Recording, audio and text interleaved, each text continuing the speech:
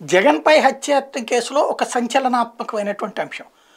జగన్ దాన్ని సీరియస్గా తీసుకోవట్లేదు తన తరపున లాయర్లు స్ట్రాంగ్ ఏం పనిచేయట్లేదు లేకపోతే గనక ఆ శ్రీనివాస్ అనే అతని వాంగ్మూలాన్ని కనుక నమోదు చేయిస్తే కొత్త కథ మారిపోతుంది. ఇప్పటిదాకా తెలుగుదేశం పార్టీ ఏం ప్రచారం చేస్తుంది లేకపోతే గతంలో చంద్రబాబు ప్రభుత్వమైనా సరే శ్రీనివాస్ అనేటువంటి వాడు వైఎస్ఆర్ కాంగ్రెస్ పార్టీ అభిమాని తను పొడిచి తర్వాతన జగన్ నువ్వంటే నాకు అభిమానము నువ్వు ముఖ్యమంత్రి కావాలి అందుకోసమే నిన్ను పొడిచాను నువ్వు ముఖ్యమంత్రి అయిపోతావన్నాడు అంటూ ఆ రోజున ఆ స్టేట్మెంట్ ఇచ్చారని ఈనాడు జ్యోతి ఇవన్నీ కూడా హైలైట్ చేసినాయి.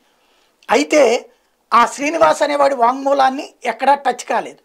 ఇప్పుడు నిన్న ఈ ఎన్ఐఏ కోర్టు విచారణ ఆ తర్వాత జరుగుతున్న పరిణామాల నేపథ్యంలో ఆ శ్రీనివాస్ అనేటువంటి వ్యక్తి గబక్కన మీడియాతో మాట్లాడడంతో ఒక విషయం వెలుగులోకి వచ్చింది. ఒకసారి అదేంటో విందాం.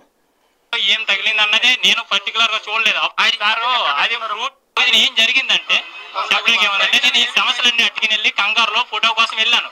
అంతేగాని నేను సింపతి కోసం కానీ అత్యయత్నం కానీ చేయలేదు. ఆ కంగారులో ఏం తగిలింది అన్నది నేను పర్టికులర్గా చూడలేదు. అది సారు అది రూట్స్ అలాడు అది నైఫ్ అది ఎక్కడి నుంచి అంటే జోబులోనే ఉన్నది. చెప్పడానికి ఏముంది? రెండు నైఫ్లు నా దగ్గర ఉన్నాయి. మూడు నైఫ్లు కట్ట ఉన్నాయి. కోరుకున్నా ఇన్ని జోబులోనే ఉన్నాయి అని నేను జగన్ వచ్చాడు ఈ సంవత్సరం అట్టుకుని వెళ్దాం. కంగారులో వెళ్ళి ఆయనకి ఏం తగిలిందో కూడా నేను చూడలేదు. ఆ క్షణంలో చిన్నది గీసుకున్నది. వాస్తవం ఏమంటే చిన్నది గీసుకున్నది.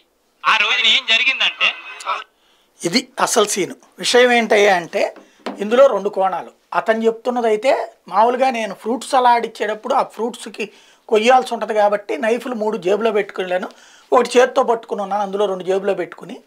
ఆ టైంలో ఆయన దగ్గర ఫోటో దిగాలన్న తొందరలో నేను వెళ్ళినప్పుడు కత్తి ఏదో తగిలింది అది ఉద్దేశపూర్వకంగా చేసింది కాదు అని చెప్తున్నాడు. ఇది ఒక ఆస్పెక్ట్ రెండవది ఏంటి?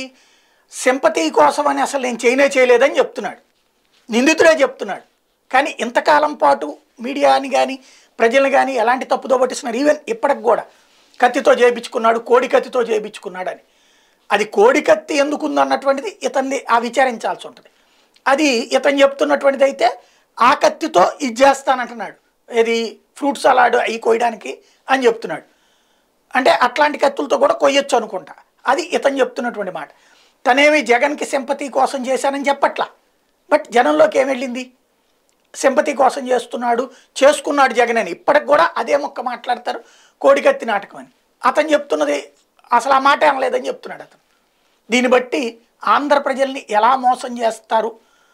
ఏం జరుగుతుంటుంది అనడానికి సాక్ష్యం ఇది